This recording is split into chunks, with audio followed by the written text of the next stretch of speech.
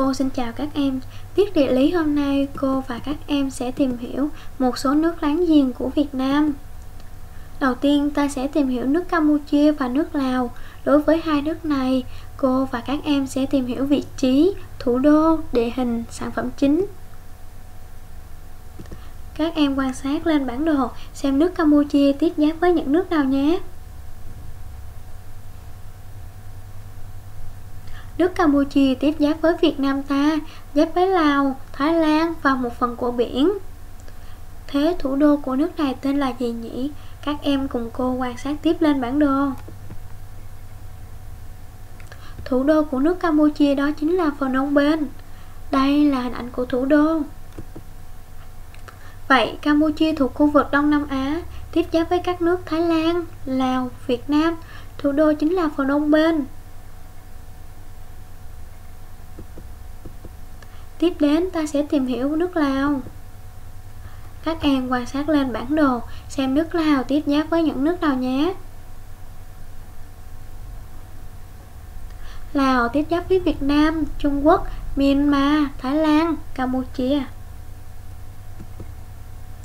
Thủ đô của Lào chính là Viên Chăn Đây là ảnh của thủ đô Viên Chăn Đấy các em.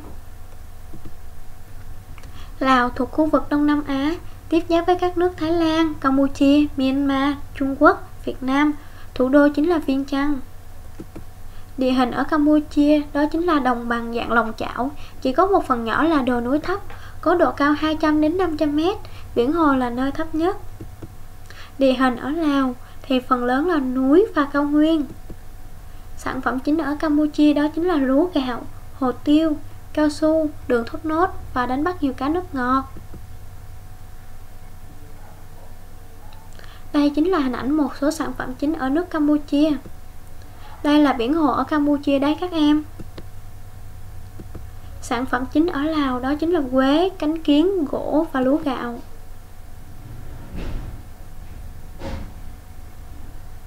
Đây là một số hình ảnh sản phẩm chính ở nước Lào.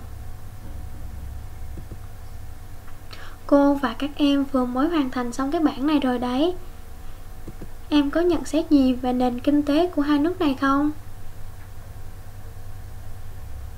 Các em cùng cô quan sát lại sản phẩm chính của hai nước này nhé. Hai nước này không sản xuất ô tô, trang thiết bị, dầu mỏ, khí đốt, sắt thép Nên nền kinh tế của hai nước này thiên về những nước nông nghiệp Bước đầu phát triển công nghiệp. Cô và các em sẽ đi tham quan một số công trình kiến trúc của Campuchia đây là hình ảnh của Angkor Wat Angkor Wat được xây dựng từ thế kỷ 12 với lối kiến trúc rất là độc đáo, tinh xảo. Đây là hình ảnh của Hoàng cung chùa vàng Angkor Thom. Tiếp đến, ta sẽ đến với một số kiến trúc của Lào. Đây là Luang Prabang là thủ đô của nước Lào. Thế kỷ 14-15 sang thế kỷ 16 do chiến tranh nên đã được dời về Viên Chăn. Đây là Thạc Lan là biểu tượng của nước Lào. Hình ảnh của Thạc Lan này được in trên tiền của Lào và quốc huy của nước Lào. Đất nước thứ ba cô và các em sẽ tìm hiểu đó chính là đất nước Trung Quốc. Các em quan sát xem lượt đồ, xem Trung Quốc thuộc khu vực nào của châu Á nhé.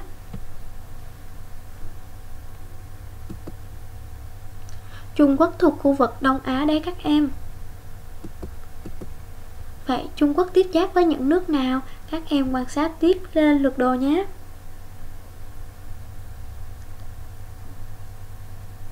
Phía dưới cô thấy Trung Quốc tiếp giáp với Việt Nam, Lào, Myanmar và rất là nhiều nước khác.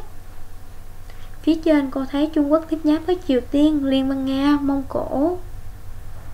Vậy cô đố các em biết thủ đô của Trung Quốc có tên là gì đó? Cô bật bí nha. Thủ đô của Trung Quốc chính là Bắc Kinh. Trung Quốc là nước có diện tích rất là lớn Gần 9,6 triệu km vuông Dân số thì đông nhất thế giới. Hiện nay khoảng 1,4 tỷ người đang sinh sống tại đây. Vậy Trung Quốc thuộc khu vực Đông Á tiếp giáp với các nước Mông Cổ, Nga, Việt Nam, Lào, Triều Tiên và một số nước khác. Thủ đô chính là Bắc Kinh. Địa hình thì miền Đông là đồng bằng châu thổ màu mỡ Miền Tây chủ yếu là núi và cao nguyên, có khí hậu khắc nghiệt. Sản phẩm chính đó chính là tơ lụa, gốm, sứ, chè, máy móc, thiết bị, hàng điện tử, ô tô, hàng may mặc, đồ chơi. Đây là một số hình ảnh sản phẩm nổi tiếng của Trung Quốc. Đây là một số sản phẩm chính của Trung Quốc. Những sản phẩm này được xuất khẩu đi rất là nhiều đất nước trên thế giới. Cô và các em vừa mới tìm hiểu xong đất nước Trung Quốc. Vậy các em có nhận xét gì về số dân và nền kinh tế của Trung Quốc không? Lúc nãy cô cũng nói rồi, Trung Quốc có số dân đông nhất thế giới, kinh tế phát triển mạnh với nhiều ngành công nghiệp hiện đại. Cô và các em sẽ đến với một số công trình kiến trúc của Trung Quốc. Đây là vạn lý trường thành. Vạn lý trường thành dài 21.196 km, độ cao trung bình so với mặt đất là 7 m.